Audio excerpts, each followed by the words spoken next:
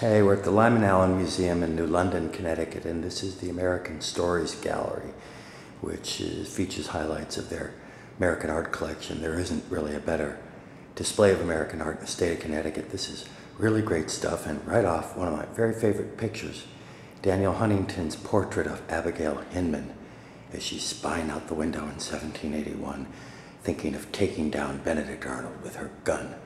That is one down girl you don't want to meet in a dark alley. Great, great stuff here.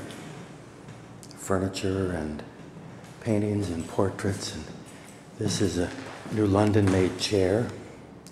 It's got lots of personality, including this beautiful little eagle. And, uh, you know, it's a little of everything.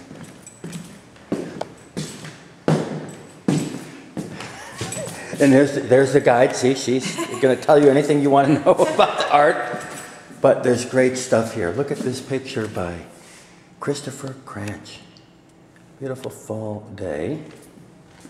And Frederick Church, view of New England. And my favorite, this is awesome. This picture by Albert Bierstadt. That is some weather system there, and beautiful light.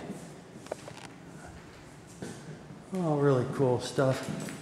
Frederick Church, Thomas Cole sculpture, and this amazing little sewing table. And look at this view of New England town, but we don't know where it is yet. Ah, sunflower chest from Wethersfield.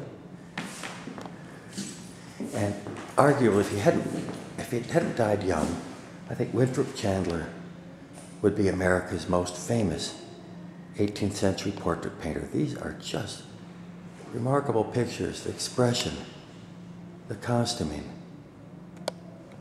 That is a portrait of Eunice Huntington Devotion and her husband, Ebenezer Devotion. And even down to the little pet, whatever that is under the counting desk. Norwich made clock from Norwich, Connecticut. By Ebenezer Tracy, apparently. And lots of stuff. The silver. This uh, porringer is actually made in New London. And if we cross quickly in across the hall, into the 19th century gallery. Another artist that I think is incredible is Beatrice Cumming. She did a lot of work in the New London area, some of it of industrial sites like this. But I love these sort of jazz age pictures from the 1930s showing nightlife. This is State Street and Bank Street in New London. And this looks like the sailors on a break. A night on the town at the height of the urban age. Wonderful sort of genre pictures by Beatrice Cumming. And of course, there are some interesting Connecticut Impressionists. This picture by Anna Minor. She was the President General of the Daughters of the American Revolution at the height of their power in 1928. She was from Waterford, Connecticut, and she did a lot of painting. There are quite a few of her pictures at the DAR National Museum in Washington. That's the only one I know on display anywhere in the state of Connecticut. Guy Wiggin exhibited frequently in Connecticut during his time. He was a New York based and Connecticut based artist at the turn of the century and did these wonderful cityscapes, mostly in New York, and you really feel like on a snowy day you're entering into the life of the city at that time.